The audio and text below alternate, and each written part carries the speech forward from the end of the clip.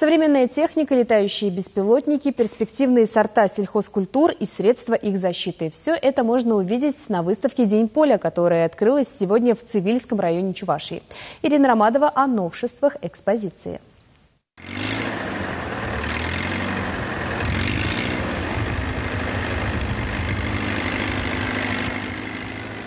Без трактора фермер как без рук. Правда, подобные модели сейчас можно увидеть разве что в музее, а в полях используется техника более современная. Новые образцы комбайнов, тракторов, кормоуборочной техники производители и поставщики представили на выставке «День поля». Новая техника помогает повысить производительность, экономит энергию или, например, расход химпрепаратов. С экспозицией ознакомились председатель правительства Чувашии и министр сельского хозяйства. Вы видите сегодня много э, новой техники, интересной для сельхозпроизводителей. Я надеюсь, что будут заключаться контракты и, соответственно, потребители найдут свой товар. Эта выставка для нас очень значима.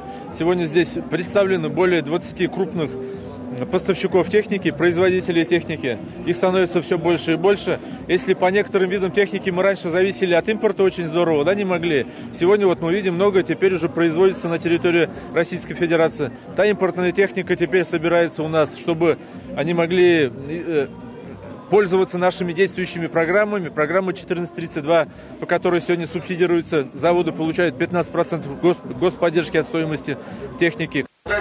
Технику постоянно приходится обновлять. Это констатируют и чиновники, и сами сельхозпроизводители. А на выставке есть возможность увидеть новинки своими глазами, потрогать, договориться о цене. Для уборки зерна, комбайн. То есть комбайны есть, но недостаточно? Да, два комбайна есть у нас. Третий сейчас нужен. Не успеваем это убирать. Почему выбрали именно эту технику? Цена, И- качество, что? и мы цена. И скидки большие, хорошие. Интерес много. Это ну, много этих комбайнов этих. Ну, ну, трактора вот новые вообще. К-700 это вообще новое. Много чего. Все хочется. Ну, хочется-то колется, денег не хватит. Но, по крайней мере, можно что-то запланировать на будущее, Ну, обязательно запланируем. Ну, Технику надо менять, уже старыми. Новую технику покупать надо. Крупная и малогабаритная сельхозтехника, а также минеральные удобрения, средства защиты семян и новые сорта различных культур. Выставка «День поля» – важная площадка для аграриев, для обмена опытом и налаживания деловых связей. День поля в Чувашии проводится с 2004 года, но всегда в разных районах республики. На этот раз можно сказать, что аграрии определились с постоянным местом проведения этого праздника. Территорией второй год подряд выбирается Цивильский район, площади научно-исследовательского института сельского хозяйства Чувашии. Институт занимается селекцией всех сельхозкультур, которые произрастают в Чувашии. Зерновые, подсолнечник, горох, соя, многолетние травы. Изучают новые сорта и отправляют семена на испытания в другие регионы. Работники института показали свои делянки с подсолнечником, горохом и озимой пшеницей. Кроме того, в этот раз на выставке свои наработки представили и селекционеры из других регионов страны. К нам уже проявили интерес.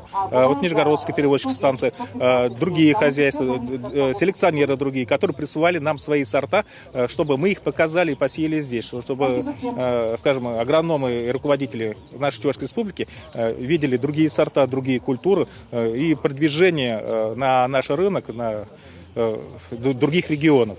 Также и мы проявляем большой интерес к другим регионам. Алтайский край, Краснодарский край, Кемерово, Воронежская область очень сильно заинтересовались нашими сортами сои.